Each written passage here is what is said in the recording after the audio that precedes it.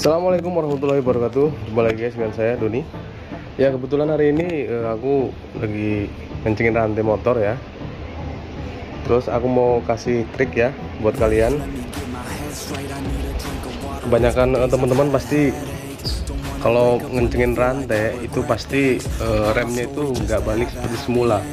Atau kata lain itu eh, apa namanya remnya itu gesut ya teman-teman ya. Jadi setelan uh, setelan remnya belum nyampe uh, dalam itu sudah gesut. Jadi ngerem sendiri gitu teman-teman ya. Ini uh, sepele tapi sangat uh, mengganggu kalau menurut saya ya. Bagi teman-teman yang baru pemula mungkin ya. Mungkin kalau untuk uh, bengkel abang-abang bengkel mungkin sudah tahu abaikan saja video ini ya. Jadi sebelum uh, ke triknya aku mau kasih tahu buat teman-teman yang mau sepil-sepil. Kemarin ada yang nanya di video aku bersihin motor apa mesin-mesin itu salah fokus sama ini uh, aksesoris yang ada nempel di motor Jupiter saya ini teman-teman. Jadi banyak nanya uh, bang ini belinya di mana? Harganya berapa? Gitu. Contoh seperti stok ini ya. Kalau kayak stok ini saya sudah bikin videonya sendiri ya seperti aksesoris yang lainnya juga itu. Itu banyak yang nanya. Mereka salah fokus sama uh, aksesoris yang menempel di motor ini. Jadi kalau teman-teman mau uh, aku bikin videonya silahkan komen ya di bawah ya. Coba tahu kalau banyak komen nanti uh, aku bikin videonya khusus untuk spill motor Jupiter Z ini ya. Spill untuk alat-alat uh, yang menempel di motor ini. Aksesoris bisa teman-teman lihat ya. Nanti aku, khusus aku bikin videonya sendiri buat kalian.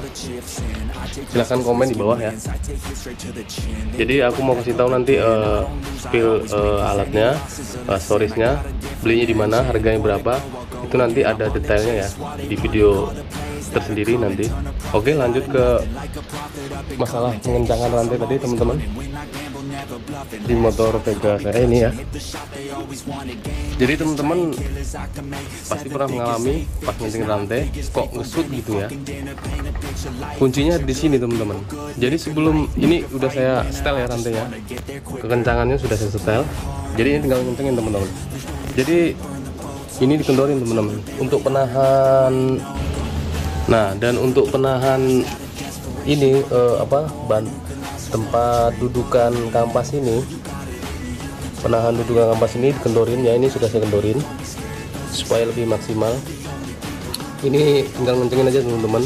Jadi masalahnya itu dia ngecut itu karena kampas sama tromolnya itu nggak pas ya teman-teman ya. Dalam arti nggak sejajar sama awalnya.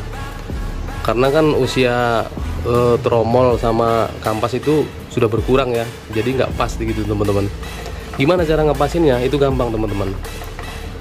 Kalian tinggal sediakan obeng seperti ini ya. Nah seperti ini. Bentar saya ngambil tripod. Susah kalau pakai tangan satu.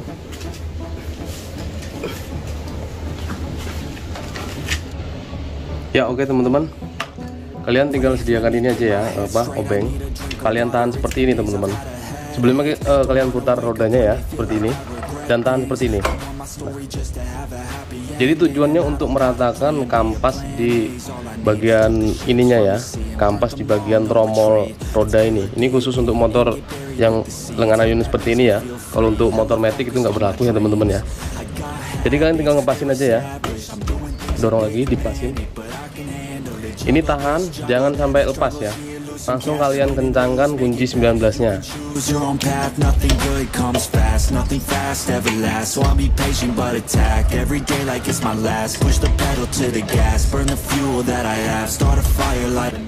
copot aja nih susah.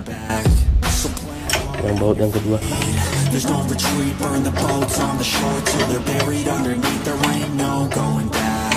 Forget the past. Out of desperation All the people Oke ini udah kenceng teman-teman. Baru kalian lepas. Nah Ini udah dipastikan Kampas sama tromolnya pasti sejajar. Sudah uh, Kalau bahasa Jawanya itu udah krep gitu ya teman-teman ya.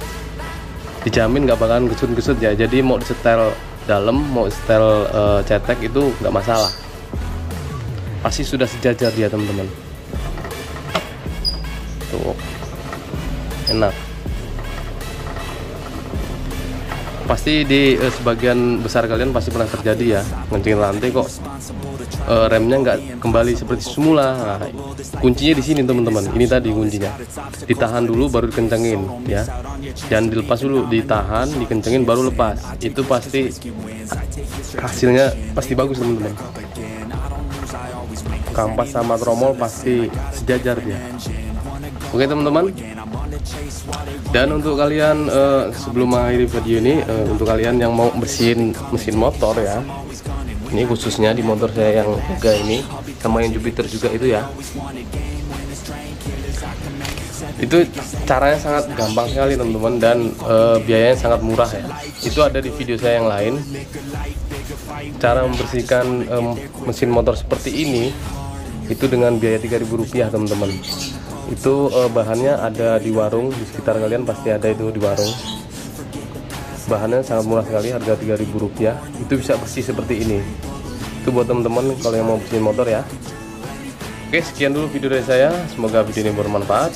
Jika bermanfaat uh, share ke teman-teman kalian. Jangan lupa subscribe channel ini untuk membantu berkembang ya untuk ke depannya.